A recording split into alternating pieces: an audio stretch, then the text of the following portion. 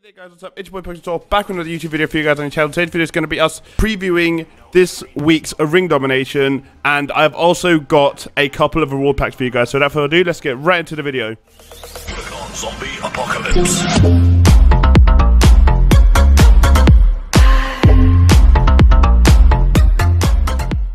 Right then guys, welcome back, and the ring domination card is in fact Samoa Joe, the guy who's made a return to WWE, the guy who's now in, I think, in NXT, doing his bits. But yes, as you guys can see, the Forged is there, the 37 is there, but there's no event card. That is a bit weird.